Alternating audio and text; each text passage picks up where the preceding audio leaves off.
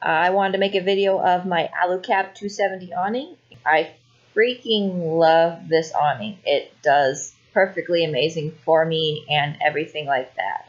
So I just wanted to show you a little bit about my awning and the daily use of it and also a little surprise at the end of what happened to it. So stay tuned and enjoy.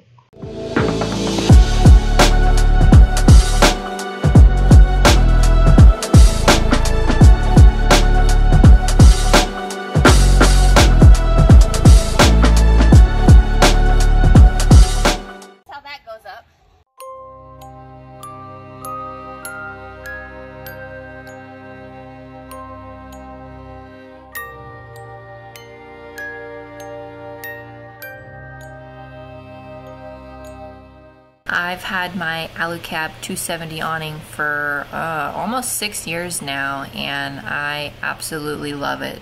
I've used it in multiple conditions between heavy rain, heavy wind, and lots and lots of snow, and it's done amazingly well.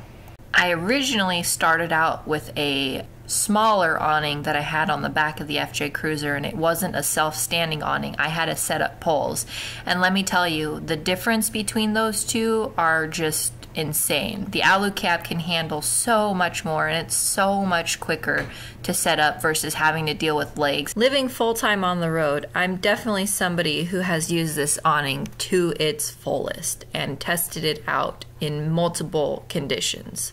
If you're looking for an overall good awning, then I highly recommend checking out the Alucab 270 awning. It's done pretty well for me and I loved it.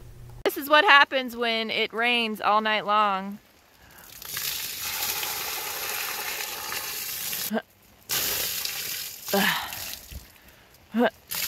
That's one side. And now here's the next side. This is the really big one. This is the really big one. Here we go.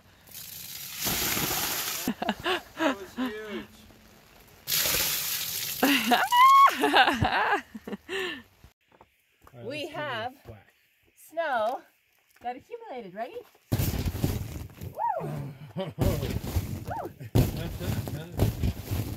this is like a couple hours worth. Oh, it's gonna be good tomorrow. It's gonna be good tomorrow. Oh, yeah. Wow. It almost scared me. Like, How did all this snow fall? Uh -huh. It's time to pack up my awning, so we're gonna see if we can do this. Should we scrape some snow? So we have to take these and put them inside of the little channel that Alucab came with. The problem with it is that it's so iced over I don't know if I'll be able to get it inside the channel, but I'll try. So the way that you do it is you grab this, you bring it up there, and then grab this.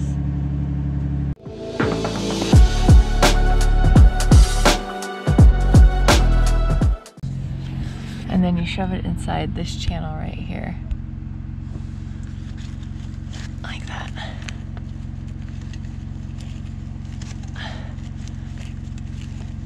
So I got my little hammer here that I use to hammer in the um, little holders. I use this hook so I don't have to dig for it. So I'm gonna try to find where we put that in the ground. But the problem is we actually packed ice into this and it's frozen solid. So I'm gonna start chipping away at the ice. And yes, that is literally what is causing this not to come up. Oh God. Oh shoot. Huh. I don't know, guys. I can't find the actual hook. Well, I found it. I hook it on like that, and then if I can get it to stay on it, oh, nice.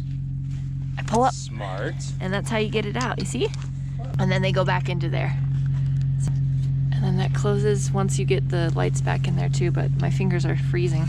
I give them a minute to thaw. But yeah, see these are these really cool lights they're waterproof, they're pinch resistant, resistant. They wrap perfectly around the Alucab and as you can see, they've gone through quite a lot and they're pinch resistant. So they're pretty nice. They wrap around the entire Alucab.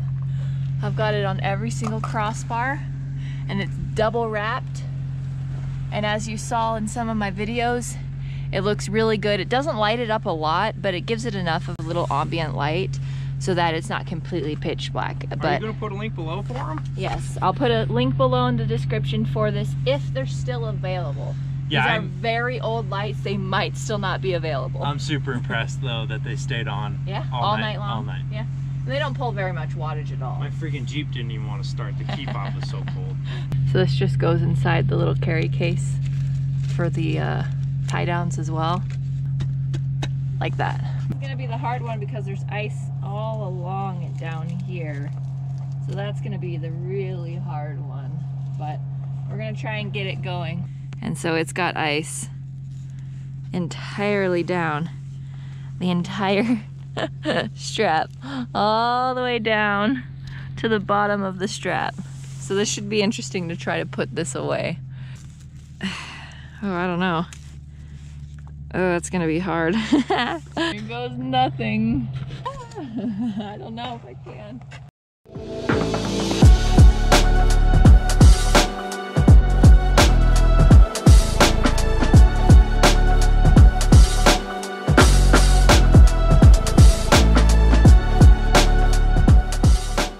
Shove it inside this little hole right here.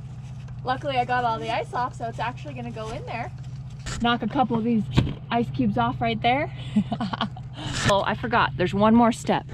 You do have to push this thing down right here, and it's really hard to push down.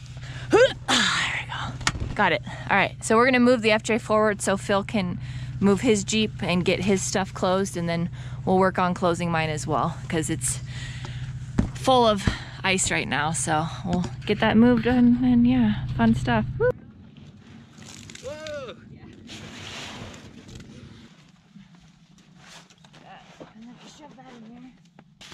You could even pull it out while we're getting Chinese food and let it dry.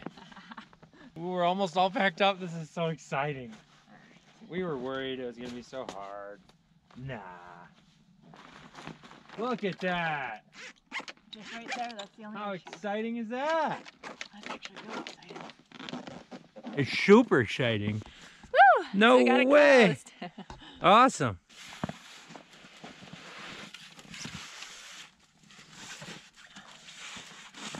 Try to get as much as I can off while I'm driving.